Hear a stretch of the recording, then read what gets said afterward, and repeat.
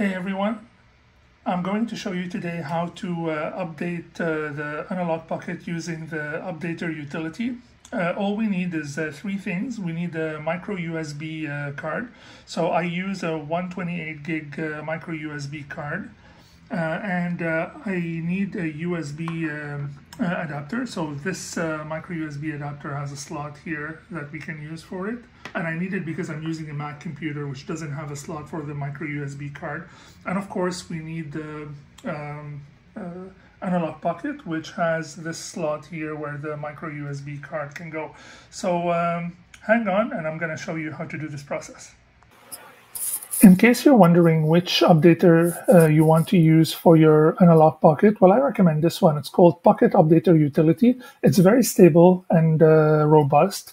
Uh, it's built by someone in the community. I believe it's Matt Pannella. And uh, this is his uh, GitHub page. And this is where you need to go uh, to download the zip file for your specific operating system.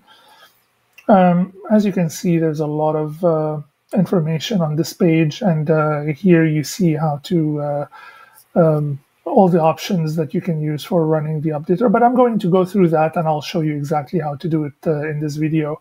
I uh, just wanted to show you that um, uh, this is one of the better ones that I found. If you search, you will find others, but I like this one because it's lightweight, it's simple, it doesn't take a lot of space because I'm going to um, install it on a micro USB card and I want to use most of the space there for my um, actual games. I don't want to um, uh, have to use a lot of uh, overhead for fancy uh, UIs uh, or anything like that. So this is the one that I recommend. And um, uh, one more thing, if you're in case you're wondering, Analogue does not make these updater utilities itself. So they rely on uh, their vast community of developers to build those updaters. And uh, until now, they haven't done an official one. So this is the one that I recommend, and uh, you will see the link uh, below the video.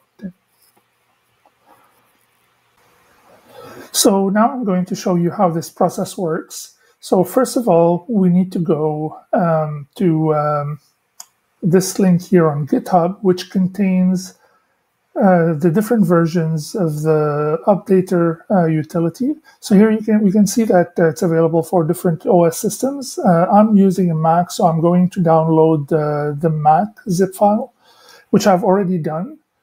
And here we see it's up, uh, it's downloaded directly on my micro USB. And the reason for that is I want to unpack it uh, on my micro USB and do all the subsequent updates directly from uh, the micro USB because I want to avoid having to copy and paste files because I might forget stuff and it may cause some problems. So this way I know that uh, everything is done correctly in the correct place. So to unpack this, I just need to uh, uh, double click on it. Um, so we see here that it just unpacked the Pocket Updater. So to run this uh, on a Windows, I think you can just double click on it and it's going to work. Uh, on a Mac, you need to uh, press and hold the Control key and then click on the file and do open. And uh, I believe it's going to give you a warning uh, first that you're opening a file downloaded from the internet. So yeah, just say yes, open. And uh, we see here that it unpacked the file and then it ran the utility.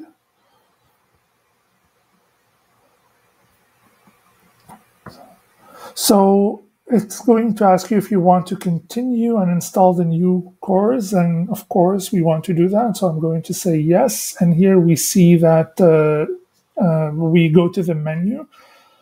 Uh, so the menu is text-based, and you can uh, go up and down, select the different options. You can explore all these options on your own. For example, if you want to update only the firmware, you can do that. But what I'm going to do here, especially because this is the first time, I'm going to do update all.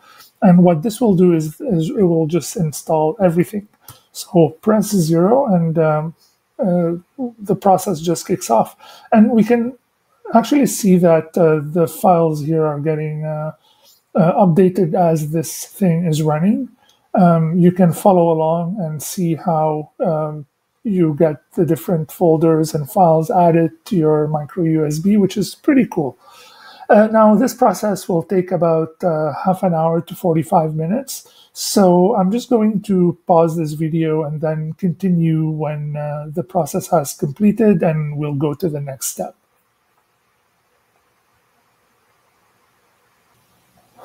So the process has completed successfully, as we can see from here. Uh, the log just stops scrolling, and then you see the, uh, the message that says new firmware was downloaded. Restart your Pocket to install Pocket firmware one underscore one dot bin. Uh, you can view a full log of what has been installed uh, if you scroll up.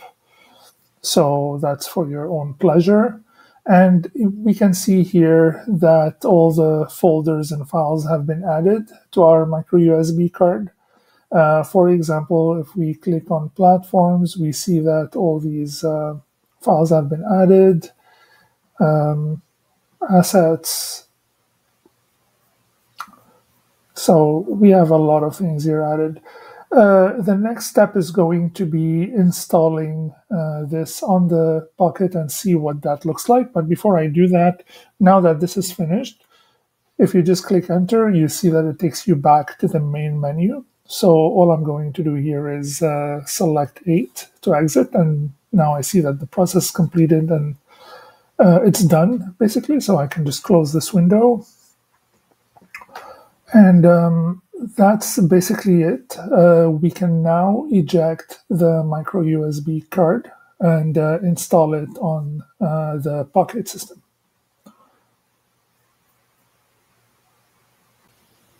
One quick thing I want to show you also is that um, if you look at the file size here uh, on the micro USB, we see that we're, we've only used up 3.24 gigs to download everything. So 128 gigs for the micro USB card is really a lot more than what we need. But uh, since this doesn't, this updater doesn't really download all the ROMs for all the other systems that are playable on the uh, Analogue Pocket, you probably need this extra space because uh, you're going to have to find and download uh, the other ROMs uh, one by one, basically. So uh, just keep that in mind. Um, it's uh, 128 is really a lot uh, a lot of uh, uh memory and it's going to uh, really last you for a while. So now that uh, the updater has installed all the files on the micro SD card I'm going to remove it and um, install it in my Analogue Pocket. So you just need to add it to the slot and then turn on my uh, Analogue Pocket. And we're going to go straight to the Open FPGA option and to the arcade where we actually see all the games that have been installed automatically by the updater. So um, just as an example, let's pick one of the uh, games here. Uh, classic is Ghosts and Goblins that has been uh, installed. And uh, nice. Uh, we see the actual arcade machine booting up. And this tells me that this is real hardware emulation.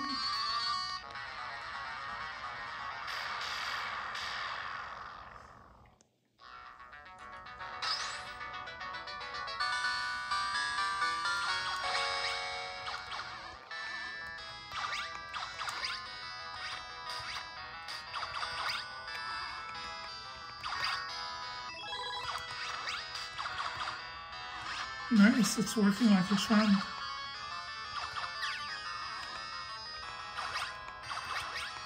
Alright, so now let's see what else has been installed on uh, uh, on this using uh, the updater. So we see here there's an option called uh, Arcade Multi, and this one has four different arcade systems, Capcom, uh, CPS-1 and CPS-2, and Sega System 16A and 16B, and the Taito system. So if we go, for example, let's just pick one, uh, the Sega System 16A.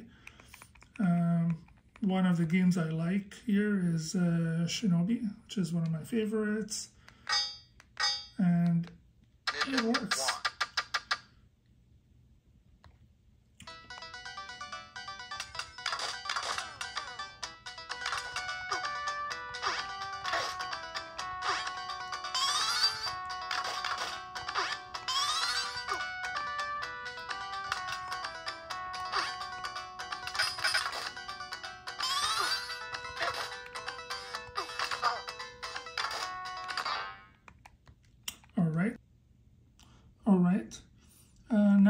Going to uh, go back and show you what else has been installed. So if we go here to the consoles uh, menu item, we see that there's all these consoles that have been installed by the updater. But the difference is that uh, there's no games that have been uh, installed or no ROMs. So for example, if I go to the Sega Master System and I click on that, I and I run it, I see that there's nothing that has been installed here. So this is the difference. The updater is only going to install um, the arcade and the multi-arcade uh, options. And uh, those will come packed with uh, games. And every time you run the updater, uh, it will just keep adding games that have been released publicly to those two systems. For the rest, you have to go and find the games uh, um, uh, separately and uh, download them in the right folder. And uh, I can probably shoot another video showing you how to do that. But for now, um, you have, uh, if you just do this, you have hundreds of games to uh, play on your Analogue Pocket. So um, I hope you enjoyed this tutorial. And if you have really other questions, just ask me in the comments and uh, I will happily answer any question uh, you have on this process or um, anything related to it. Thank you very much. Don't forget to subscribe to the channel.